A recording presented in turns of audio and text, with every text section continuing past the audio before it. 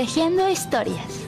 En la vida existen momentos que van tejiendo nuestro camino, en medio de un mundo lleno de virtudes y aptitudes de la gente, que en el tiempo se han convertido en finos y delicados hilos que entrelazados nos han permitido ir tejiendo historias, es decir, vivencias propias, únicas e irrepetibles, que nos dan un verdadero sentido de identidad. Tejiendo historias es un espacio de expresión, conocimiento y experiencias de la vida de ilustres ciudadanos cayambeños, que a través de estos podremos divulgar una diversidad de temas que posiblemente no tendrán réditos económicos, pero estamos convencidos que será un aporte a la cultura y al turismo local para todos y cada uno de nosotros. Bienvenidos a su programación Tejiendo Historias.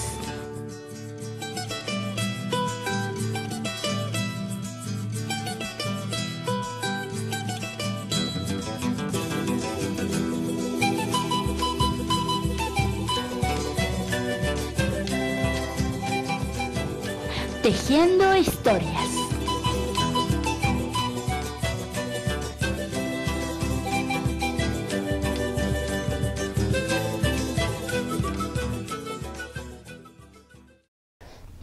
Luis, yo me llamo Luis Hermoso, paz mío, mío.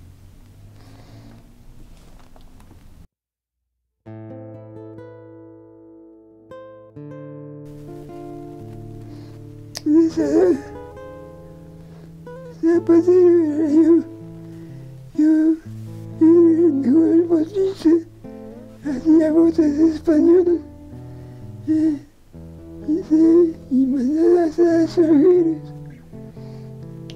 Unas bonitas botas hacía yo.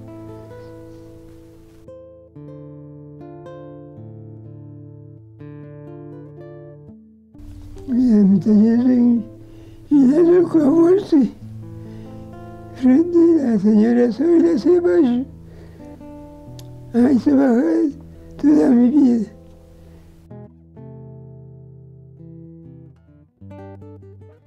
Mi padre era callameño.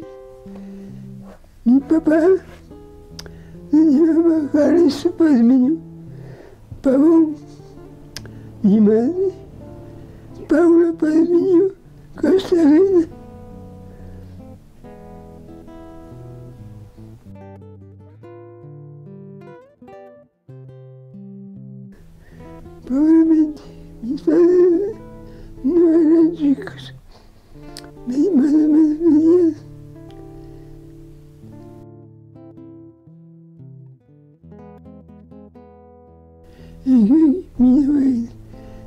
Regreso, era español.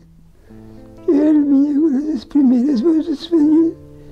Y, yo fui el primero que hice aquí las voces españolas.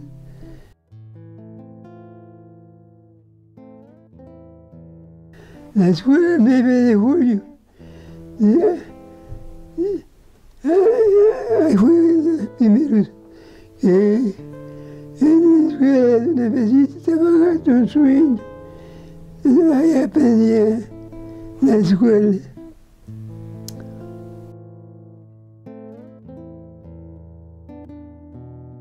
Mi esposa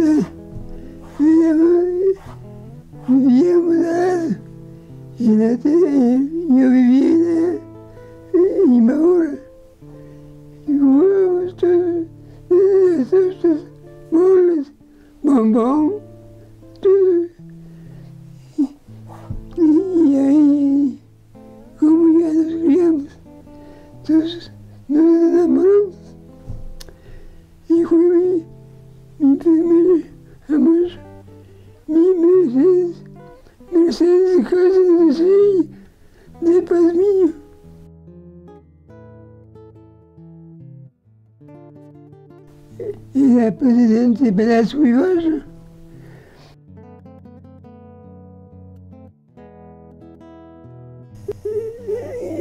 Yo, yo era primero. Otro había lechero. No era de aquí de. ¿De dónde sería? Entonces yo quedé derechero.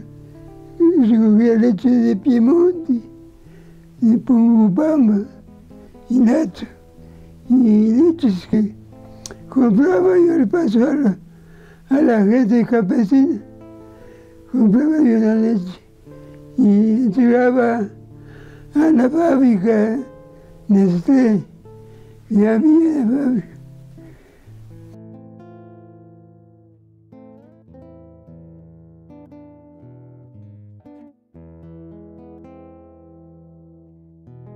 y se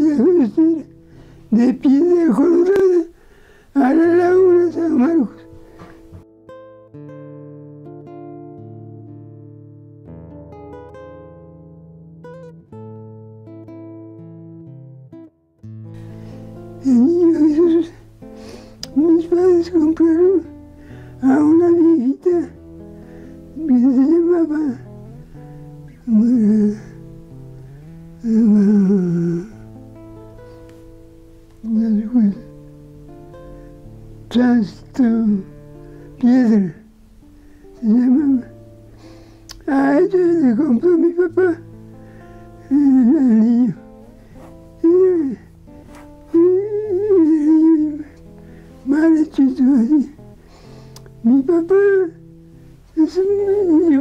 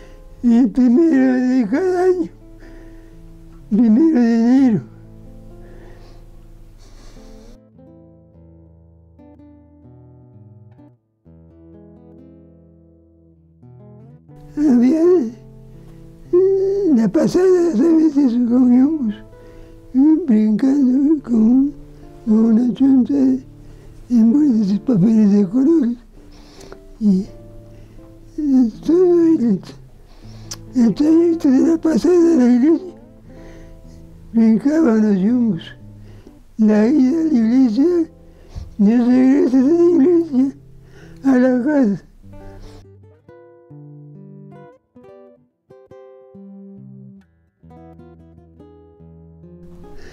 chiquito me gustaba fútbol. Yo era de- del Club San Pedro. A Machachi fuimos a jugar fútbol. Y aquí en el Club San Pedro. No me fue del año. Y estaba. Yo ya estaba en, sexto grado de escuela. Y fuimos a Machachi a jugar fútbol. Ese tiempo y de, de San Barbosa pertenecía al Club San Pedro de Cayambe. Era el mejor jugador de la selección ecuatoriana. Así que jugaba y pertenecía al Club San Pedro de Cayambe.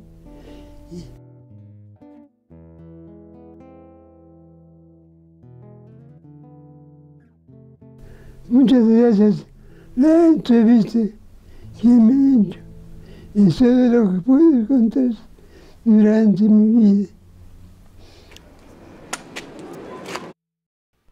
Es así que don Alfonso Pazmiño, a sus 98 años, nos comparte vivencias del Cayambe del ayer. El Cayambe que queda grabado en la memoria de don Alfonso, pero también con esa nostalgia nos recuerda aquellos momentos que el Cayambe antiguo lo vivió y lo sintió.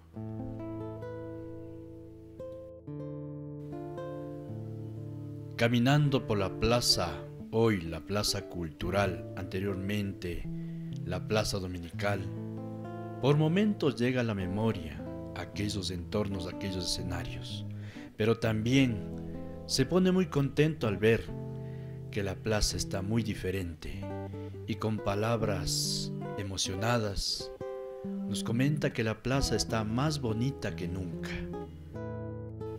Durante la visita a la plaza cultural, varias personas le saludan, lo reconocen y se admiran que aún se conserva lúcido a sus 98 años. Y al mirar las fotografías del Cayambe del ayer, le vendrán a la memoria varias facetas de su vida, como el mejor elaborador de botas españolas, como el fregador de la ciudad de Cayambe cuando se lesionaba algún deportista, una persona en particular, o también como el señor que transportaba la leche de las comunidades a la ciudad de Cayambe. También muy recordado por los andinistas, quienes tenían ese servicio de transporte en la mañana y en la tarde al visitar nuestro nevado Cayambe. ¿Cómo está mi don Alboncito? Pablo Guaña. Guaña, Sí, Pablo Guaña, claro. Yo soy Pablo Guaña. ya está de viejito. Y usted está muy joven. Usted ha estado muy joven. 105. 105 años. Pero sin sábados y domingos, ha de ser los 105. O con sábados y domingos. ¿Dónde dice? Abajo en Santa Catalina, donde bajaban a robar capulis, ahí vivo. Ahí vivo. Mi papá se llamaba Roberto Guaña. Roberto Guaña. Mi papá.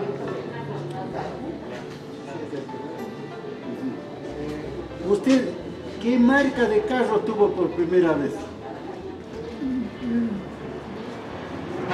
Después tenía un tío. Ah, sí. Ah, ya. Yo vine a la laguna Sama.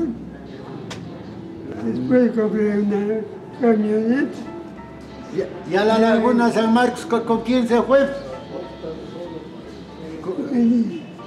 Con el segundo Mera. compré Un Daihatsu a 10. Dos. Mm, Yo me acuerdo. Unos gallos. De los gallos. Ah, apostaba. Buenos gallos. Los gallos. Buenos gallos teníamos. ¿Y los gallos? Los gallos de pelea. Los gallos. Él De tenía los muy buenos gallos. Yo eh, era aparentemente gallero, pero nunca tuve un gallo. Yo siempre les jugaba con Los ellos, gallos. acompañado, los gallos. Sí, no. Toda la vida. Es Yo que tenía buenos gallos. No, no les compraba al señor Pazmín, les compraba así, porque eran una jorga de los que tenían gallos, el ¿Quién no? chiriboga, el cerezo, Ya. el, el, eh, Mersalema. cisalema. ¿Quién no? No. Entonces se las jalaban a muchos. Yo en cambio les compraba, ¿De los gallos compraba los. uh, Gallo. Sí, Había otro señor de también. los gallos. De los gallos de pelea que tenía. ¿Tenía buenos gallos o no? claro, pues él era uno de los que tenía los mejores gallos. Y entonces a la, a Había la un señor segura- Pe- Valencia también. El Pedro Valencia. Sí, sí, sí, sí. Pero que él era que zapatero qué tenía. Tenía un carro, transportaba la leche. Sí. A Piemonte. Había otros señores, me acuerdo, que era sastre, tenía por donde es la. ¿Se acuerda del primer coche rojo? Ya. Ah, Ponce. Por- no, No, otro. sastre, Ah, Cabascango. Cabascán. Leopoldo Cabascango. Con ellos era que, que tenían juntos, buenos gallos, los mejores. La, historia de don Alfonso Palmiño y de otros personajes que comenzaron a hacer las botas españolas desde que vino eh, el señor Cerezo. El, señor Cerezo vino eh, y él pedía que le hagan las botas españolas. Entonces él trajo y les hizo sus moldes. Él les enseñó a fabricar las primeras botas españolas, tanto a, a como a Arias, creo que había un señor Arias. Entonces él les enseñó a moldar y a hacer las botas españolas como él quería. Como él era eh, español, entonces quería botas españolas. Y comenzaron acá a hacer las primeras botas y después tipo construcción, tipo industrialización, comenzaron a hacer las botas españolas.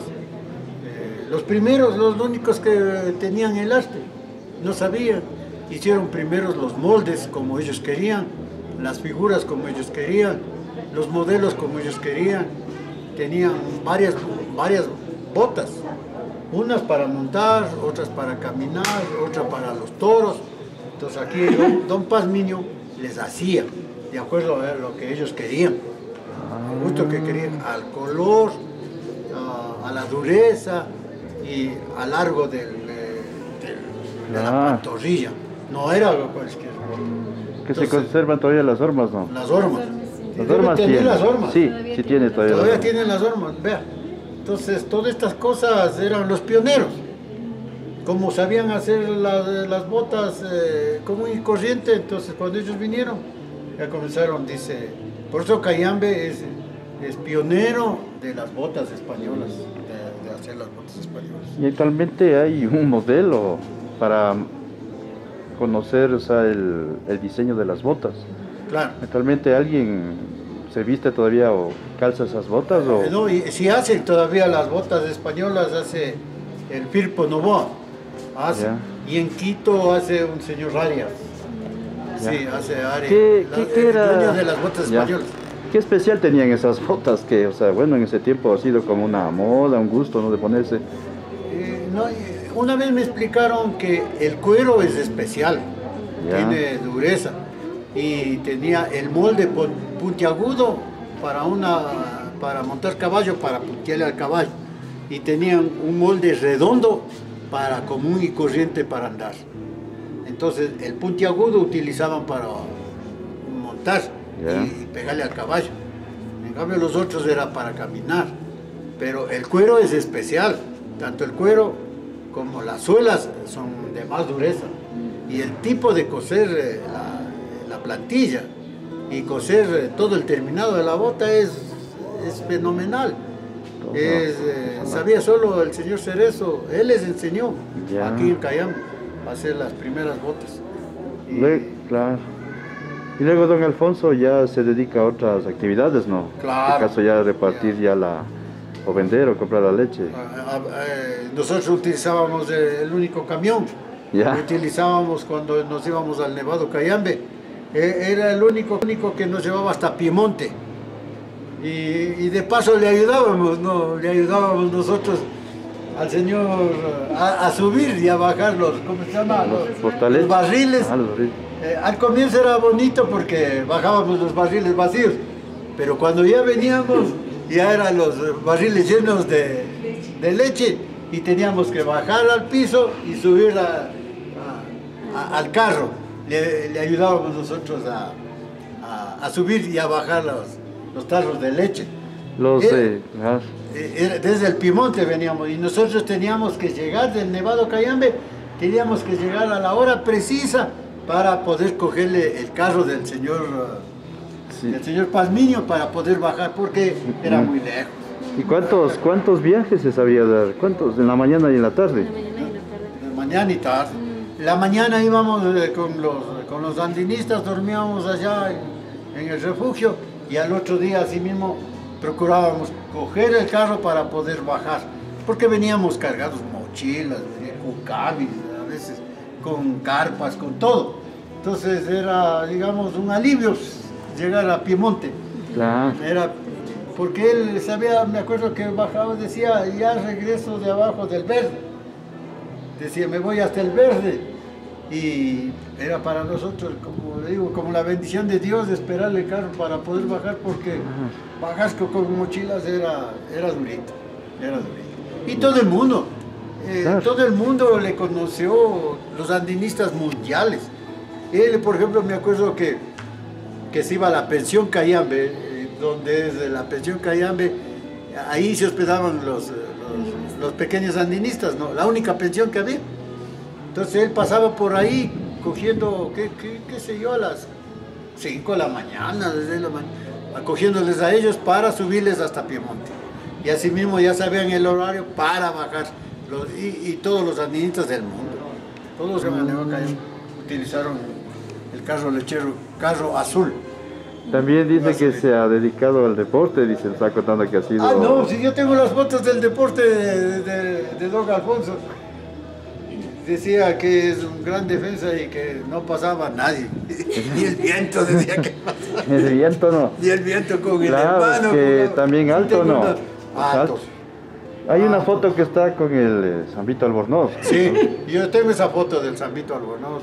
Está ahí Jaime Guaña, está un señor Romero, los dos hermanos eh, Almeidas, los dos hermanos Pazmiño, está el viejo Ayala, eh, y ni sé quiénes más están en él. Eran, eh, el cuadro de ellos se llamaba Los Amigos Guadalupanos de la ciudad de Cayón. ¿Y usted les vio jugar? Sí, yo les vi jugar, yo les vi jugar. ¿Qué color de uniforme eran? Porque bueno, es en blanco y negro la foto. para ellos no tenían un eh, ¿Color? Digamos, color fijo, venían con lo que tenían ellos. Y me acuerdo que en ese tiempo no había así eh, zapatos. El señor Palmillo les daba haciendo los zapatos de fútbol. Ah, eh, sí, él les daba haciendo los zapatos de fútbol de, suela. Eh, los pupos eran de suela, uno más grande, uno más chiquito, de hecho más chiquito. Entonces él les acomodaba, como los zapatos pichurca, él le, acomodaba los zapatos para jugar. Les adaptaba, o sea, les adaptaba, ah. sí, los zapatos de fútbol. Sí, sí, sí, sí. Y como él eh, era, conocía el oficio de la zapatería, entonces para él era fácil. Y todo el mundo recurría a donde él, a reparar los zapatos de fútbol. No había más otros. Nosotros abajo en, el barrio sur eh, íbamos donde el señor viejo Ponce. Claro. Él nos daba acomodando los zapatos de, fútbol. Así mismo a veces se rompía, corre hacer cosas. Acá cosían a mano. A mano cosían. Y después ya creo que trajo una máquina, una máquina, especial para las botas que les ayudó el señor Cerezo a traer de España. Ya, ¿y familiares allegados de él, de la familia, cuáles son aquí en Cayambe? El licenciado Marco Pazmiño es familiar. Eh, es eh, sobrino. Sobrino, el licenciado Marco Pazmiño. Todito lo, el, eh, la doctora Pazmiño. Porque es Pazmiño, él es Pazmiño Cartagena. No, él es Pazmiño Pazmiño. Pazmiño, Pazmiño. Ah, o sea, mi abuelita era Paula Pazmiño Cartagena y mi abuelito era Calixto Pazmiño, se me fue el apellido. Jabón. Jabón. Jabón. el apellido. Ajá. Mm, sí, sí, ahí. Y todo el tiempo vivieron aquí en la parte oriental de aquí, en el barrio oriental les llamaban. Ah, y aquí en el barrio La Playa y el barrio oriental, barrio oriente le decíamos. Ya. Sí, toda la vida. Y todo el mundo le conoció, supo de él. Pero no, dentro de las fiestas no, no, no, aparece la faceta de torero, no ha sabido torear, don Alfonso. No, sí toreaba. ah. Uh, vea. Dicen, cayambeño, bizcochero.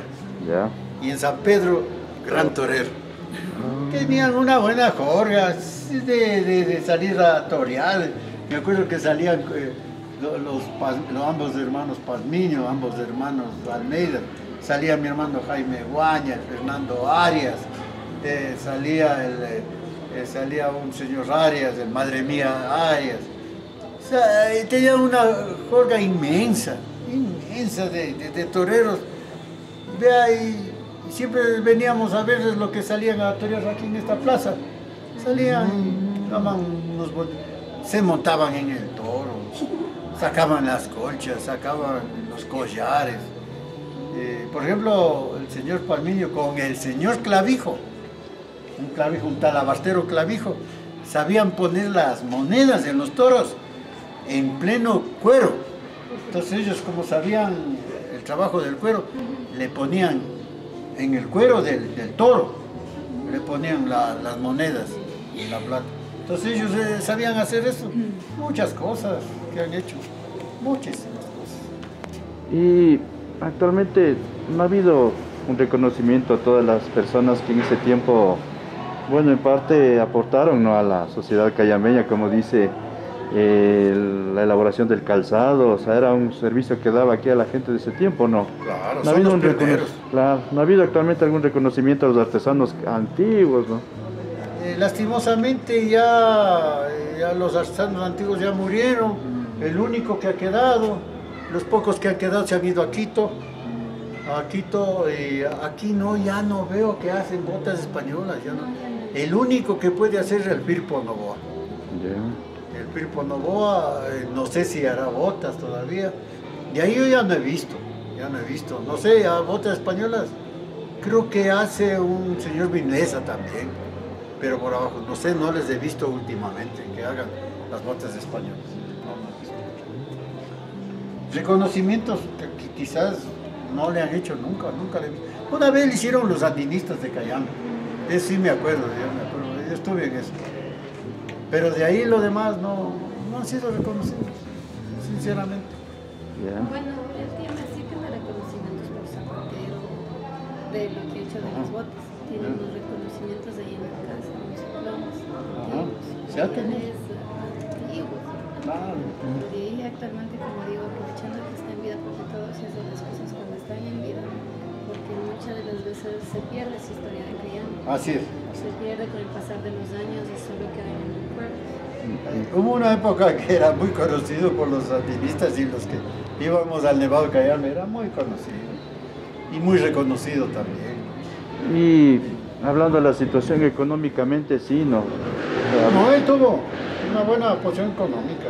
Sí. No tan rico, pero tenía una buena posición, un hombre de trabajo, un hombre emprendedor. Nunca ellos murieron del hambre porque todo tenían. Vea, si querían papas, bajaban del cerro, querían habas del cerro, querían trigo del cerro, eh, cebada del cerro, ¿no? Y como era lleno de compadres, la mitad de compadres, la mitad de a- a- ahijados, la mitad de todo. Entonces el compadre, había, a veces había papas abajo, habas abajo, mellocos abajo. ¿Cuántos ahijados tendrías? No, porque... porque ¿Cuántos chuta, compadres tendrían? No sé. Y, todo el mundo bajaba en el carro del señor Pazmiño. Entonces a veces creo que él ni les cobraba, pero les, les pagaban creo que en papas, o en melloco, en habas, en lo que sea. Entonces ellos nunca tuvieron sin ne- neces- dificultad, sí, no, necesidad. De alimentos no. Eran muy, muy, muy allegados a la gente de arriba Ah. del campo. Sí, señor. Muy bueno, ¿no? Sangabo también porque se dedicaba también a lo que era de, de fregador, les fregaba, Ah, sí. Sí, sí, sí. Sí. Es que verá, y con el señor Segundo Mera, el señor Segundo Mera, él vivió mucho tiempo en, en la laguna de San Marcos. Y ellos son los primeros que fueron a posesionarse de la laguna de San Marcos. Tuvieron, me acuerdo, una, una asociación de, de Laura de Carbo se llamaba, que fueron a, a repartirse los terrenos allá en la laguna de San Marcos. Y don Palmiño me acuerdo que se iba. Y ahí hay una leyenda de que ellos eran los primeros guerrilleros Ah. de Cayambe, sí. Que eran muy seguidores de Rubén Rodríguez Mera. Y decían que ahí era el campamento de, de los guerrilleros. No era el campamento de los guerrilleros, sino que ahí tenían una choza donde ellos llegaban. Porque ir en ese tiempo a, a la laguna de San Marcos era un episodio. Entonces ellos, ellos conocían el secreto de las pomadas. Y don Mera traía caucho de adentro y traía las, pla- eh, las plantas medicinales. Y el señor Pamino recuerdo que era fregador también. eh, componía la- las lesianas y fregaba con esas pomadas que hacían, con esos secretos que hacían. Eh, no sé si se acuerde ya. Ah. Y todo el mundo ocupaban me acuerdo, decía, ¿está algún problema? Bueno, el señor Palmino, eh, donde el fregador. Ya ves, botaba fregando también.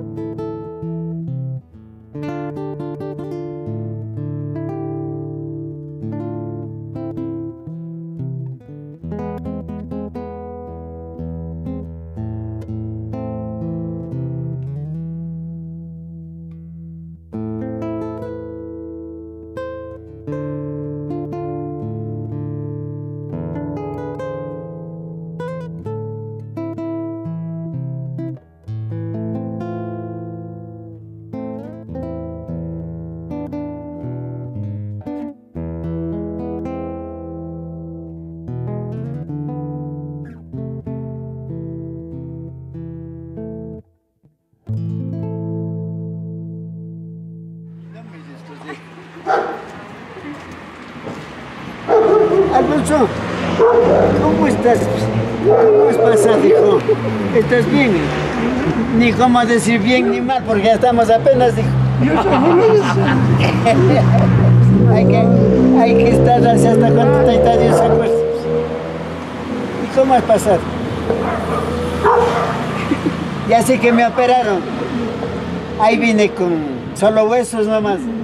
No, no, no, no me operaron. Me dio el, eh, la enfermedad. Qué, ver- qué barbaridad. Vine, pero 30 libras menos. Oiga, ni poder sentarme solo con los huesos. Qué barbaridad. Ay, Dios mío, estaba tenaz. ¿Y qué tenemos? Yo también. No oigo y ni veo. Los dos así. Me hice operar el un ojo, por lo que se me entró una limalla, pero doctores tan son una vaina, sirven nada para curarle. No, no me hice, yo también ni más.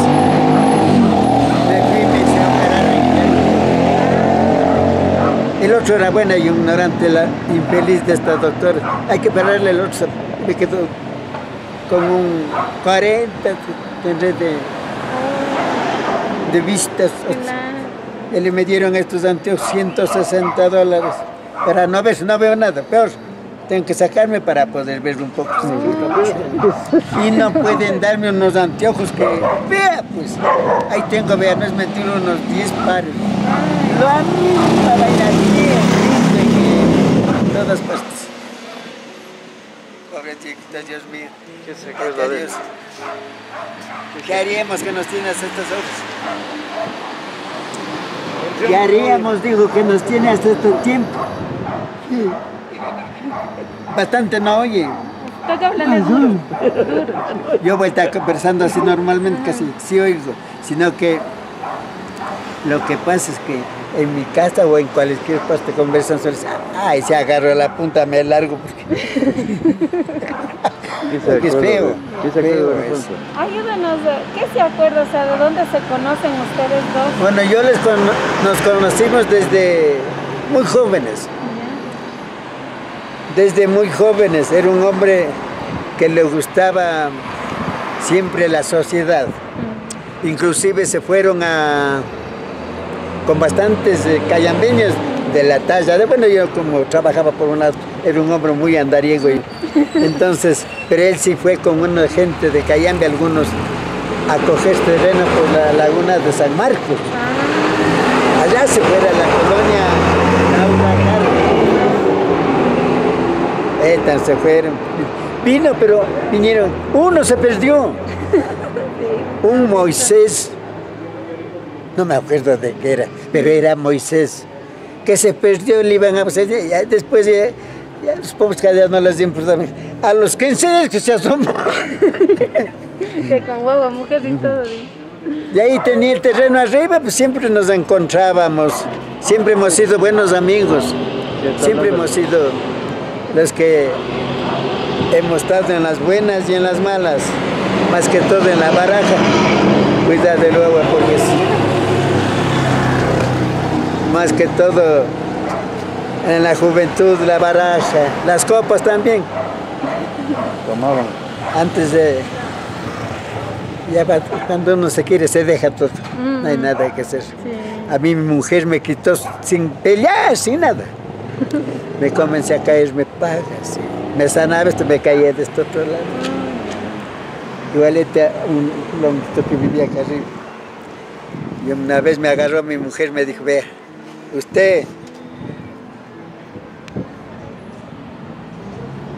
directivo de la 23 de julio, de Liga Deportiva Cantonal, presidente de la Cooperativa de Viviendas Rurales Zixal, y anda peor que el hombre. Chau, no se come, pero de un lado al otro, no le da vergüenza. Ni más, ni más, ni más. Cuando se quiere se hace. Claro. Cuando no se quiere se está ahí mismo más que le garroten. Ya con el Alfonso toda la vida. No, pues siempre me ha visto que le encuentro. Siempre estamos con él. Yo también un poco tenía una pensión de unos 600 dólares. Pero hicieron por ahí unas cosas y me quitaron. Oh. Y ahí siempre le... Y de, de niños, de- ¿desde qué edad ustedes se conocen? Más o menos desde la edad de... Ah, ya, ya joven. pues. Yo desde unos 14 años que entré a trabajar en el municipio y levantamos esa calle, todita la tubería del agua. Ahí, por ahí le conocí. Ah, porque también ya tenía la zapatería en la casa. Después hizo la casa. Ajá, ya. Exacto. De este- y muy buen amigo, toda la vida con el Julio Pazmini, el primo. Toditos una gente muy... Ahora ya creo que es duro hacerse amigos, sí. porque que- le... A pesar de que yo también tenía así lo mismo. Me chumaban, me roban el sombrero y el reloj. Bueno, Imagínense, a los... Y desde ahí también ya no me robaban más, desde que les trinqué. Ahí, desde ahí me dejaron, ya no me robaban. Sombrero y reloj. Los perros siempre ha tenido él. Claro, siempre. Hasta en el carro andaban con, con el- los perros. Don Pazmiño. Una vida honradamente media, media tranquila, sin eh, apuros de, de pobreza. No, gracias a Dios no se vivido eso. Él al menos no tenía nada, tenía lo suficiente para vivir. Claro. Lo que la enfermedad de la mujer también le dejó en la calle. Sí, eso es lo que Ella le dejó en la calle. Ujú. Vendió la arriba, vendió la casa de acá abajo, Sí, por curar. vendió la casa de la mamá también. Algunas cosas. todo por curarle más Sí. que nada para que se recupere, pero no se recupera. Eso es lo que pasa. pues. Y acá está Don. Pobrecito, mi amigo. Don. ¿Cuál es su nombre? Víctor Manuel Quiere allá los últimos días. A Y ver. lo que más. eh, Algunos... ¿En años está? Un ratito, espera, le vamos a- 98. Pues. Háblanos de Bueno, buenas tardes. eh, a don Pazmiño le conozco hace años, años, años que ha pasado la fiesta del niñito. Hacían unas lindas fiestas. Mire lo que, lo que pasa después de todo, a dónde vamos a parar. Entonces, conscientemente reconozco a la, a la- la vejez de, de lo que las personas que estamos este, envejeciendo. En el campo, ¿cómo está? Le conozco a don Pazmiño que andaba con la leche, atrás la leche de arriba de, de lato, creo, ¿no? De lato. Con Pascual, Y bueno, siempre ha, ha sido un hombre conocido. Un hombre humilde, tranquilo, ha tenido su familia más todo devoto del, del niñito que tiene hasta ahora. Sí, sí, ve. Eh, ya tiene ahora sus años, 160. después de todo, al- al- ha gozado de la vida y todavía sigue viviendo, a pesar de la pandemia que vino, sigue con vida, Diosito le ayuda. Es hacer por lo que tiene, le, le pasa al niñito y el niñito le cuida a él. hermano? Nirgotas de él eh, no he tenido nada, sino que es conocido, un amigo conocido por, por las fiestas de, de Año Nuevo, de la, de la Pascua, Sí, sí. que hacían las, de la comida, el champús, más antes pasaban con yumbitos. ¿Y usted no tocaba ahí también en la.? No, en una visita y se la pasaba nada más. Pero le deseo que siga viviendo bastante y muchos años más de vida y que las personas están al lado, que Dios les eh, bendiga, que le cuiden, que le- no le dejen botado. Ahora es la hora de, mío, de andar juntos, de darle la mano.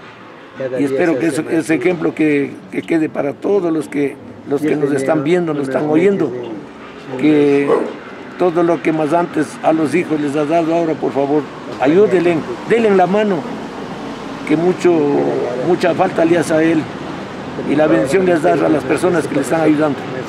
Muchas gracias. Gracias a usted. Venía a vivir aquí, ya, ya todo era muy bueno, al boli. Y como había, tenía la casa en la plaza, yo, ahí en la esquina era la cancha de boli. Qué Chica, y ustedes, las, carcajadas, las, con pinado chueco y toditos eso. El Julio Pazmiña. tenían apodos también, ¿no? No sabían Sí. apodos. ¿Cuál era el apodo? ¿A de cuál? No, no, no, apodos. no, no le oí. No le decían nada. No. Mm. ¿Para qué voy a decir? Jugaban también boli. Jugaban ¿Boli también boli. también jugaban? Claro, Ah. El castillo jugaba. Chanda combo. Chanda combo, ¿no? Que jugaba el segundo Cárdenas, Chueco, él, el Julio Pazmín, el eh, César Aguirre, ese le decían el huevón, El César Aguirre. Se fueron de aquí, una vez les encontré en Quito, Oh. ya de ahí no volvieron más, ya. se fueron con los hijos, se le murió la señora. Un gran tipo el Alfonso. ¿Y fútbol? Mandé, ¿Fútbol? no, No, polis. Ay, Los gallos. Ay, chute, la- eso sí era maestro. Verá lo que me hace. Yo compré un gallo. Ya, chute, pelear. Resultó mal. Me fui, le devolví. Me dio otro. Él me dio entrenando los gallos. Salió buenazo. Le llamaban el gallo el... Diosito mío, la mente tan se va. Escuelas de oro. No, no, no era El gallo es su nombre. Bueno, ya quizás me acuerdo. Y cuatro peleas ganamos. Y le vendo a este Fausto, ay, Fausto Acosta también, pues, gallero. y él, galleros únicos. Me vende, me, le digo, bueno, pues trabajaba en chofer en, en 500 le di. El Mundo sabía muy bien que el Alfonso me conversó por, por, uh, por agarrado le salió mal, dice, porque él me, me dijo, nunca hay que hacerle pelear al gallo con coteja, sino que sea un poco más altito, Ah, porque el otro era gargantero, ah, entonces no agarraba de aquí, sino de aquí, mataba. mm, Entonces le hace pelear con uno igual. sí. Le ganaron, de ahí se perdió. Se, ya que se murió, me dijo un día, conversando. Escondía las evidencias. Oh, Escondía las evidencias. En la juventud se ha tenido ciertas cosas que no ha sido contra la moral, sino como un bicho humano nomás, con sinceridad, con cariño, con los amigos. No ha habido más nunca de eso. Ah, le compré una camioneta que tenía también, ah, una verdecita con plomo tenía. Esa la- camioneta le compré yo. Uno también comenzando a pararse, pues imagínese, casado y ni dónde meter la cabeza, jodido, fregado la vida. Ya poco a poco, pues, ya, como se dice, que sacudiéndose. Hasta en mi tiempo, lo bueno era para las cosechas, la máquina, ya compré tres máquinas, entonces ya, logré educar a mis hijos. No, todos son profesionales. Entonces, eso me mantiene. Gracias a Dios. Hasta cuando ellos quieren, si no caen, no. Si no caen, se acaban de decir nada. ¿Y de su vida conoce algo de lo que es de la zapatería? Sí. Ese sí, la zapatería en la, más auge tuvo en la Casa Nueva. Botas tan que hacía. Sí, botas Claro. españolas. Botas de esas de mayordomo. Las De tubo. españolas. Ah. Botas de tubo. Estas también sí. Todo así, pues, un maestro honrado, maravilloso. Pero la vida es así. Parece que se va consumiendo, o sea, en un tiempo tan lento. Ah, sí, pues, medio veterinario tan era. Sí, el- los huesos. Exacto. Ah, tiene que hacerme acordar algo porque ya se va olvidándose. Él es llamado, era buscado, digamos, buscado, porque siempre era bueno. Tenía unas eh, papeles de los huesos. Entonces, según esto, les moneaba, les veía y curaba. Si esto que ahorita me acuerdo. Aliás, se me ha de hacer acordar porque yo también, ya ni de yo mismo me acuerdo. es la vida y la mente se va hasta acabándose. Ciego. Ciego. Ya se vuelve uno nada. Imagínense, hay veces que hasta mi nombre me olvido. pues. Alguien me voy a una, pues ¿cómo se llama? Tengo que sacar la cédula. en el Ministerio del Tesoro me tocó, me tocó, ¿cómo se llama señor? Te- acordarme. Toma la cédula. Quiero pasar. Cierto, ¿Y de, y de la vida de lo que fue lechero? de lechero. Esto sí, ya, él también ya, de ahí esas nunca tuve una siesta, una siesta, ah, has llegado a él, sino más bien cuando vendió el terreno, ahí yo le di, di de vender porque un ingeniero, que yo tenía el lote en lata, entonces él le dije, "Ve, está vendiendo, ahí con él nos fuimos y, y con el Alfonso mismo, ahí me- ¿cuánto le vendí? 35 mil le vendí. Y ahí le- lo que bajaba del carro de la leche, yo he vuelto en- entretenido en el mío, con música bajaba, Claro. con música haciendo acordar todo dentro de la loma y tenía unas músicas buenas, pues, llenitos ahí, que son los, los pasajeros, todo. Ahora nomás es todo bus, todo, todo. Y, y si alguien coge un pasajero ya les llevan preso. No, es- Ahí con su mamá cantaba. Venían acá a moler.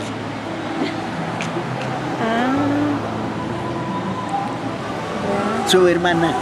Mi hermana, Sí. ¿sí la que no le he vuelto a ver. Cuando tenía unos 12, 13 años. Era simpática.